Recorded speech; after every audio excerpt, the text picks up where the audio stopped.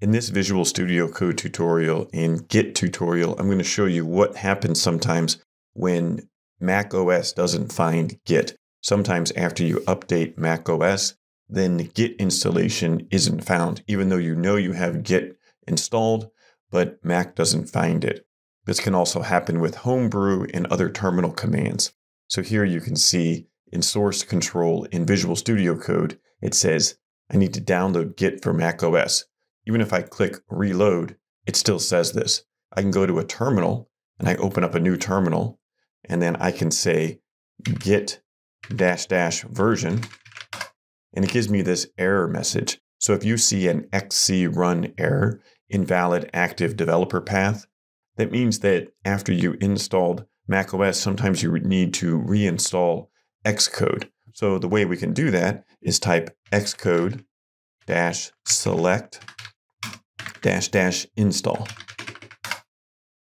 This pop-up will come up and then it says the Xcode select command requires the command line developer tools. Would you like to install the tools now?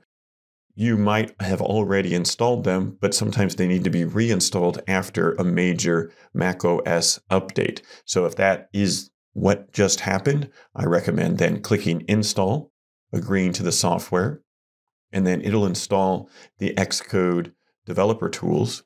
And sometimes it takes a bit long to download, but once those are installed, you may need to restart your Mac, and then you should be able to use Git as you wanted to before. So every once in a while, when Mac updates its operating system, you need to reinstall the command line developer tools.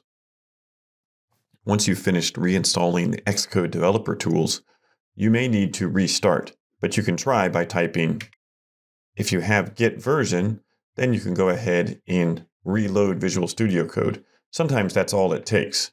Here, we can now see that I can initialize a repository, so everything has been fixed just by reinstalling the command line developer tools.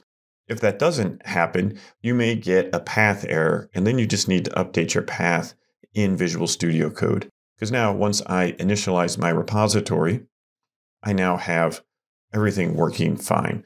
So hopefully you're able to fix your GitHub installation on a MacBook or any Mac OS device after installing a new Mac OS operating system by reinstalling the Xcode developer tools.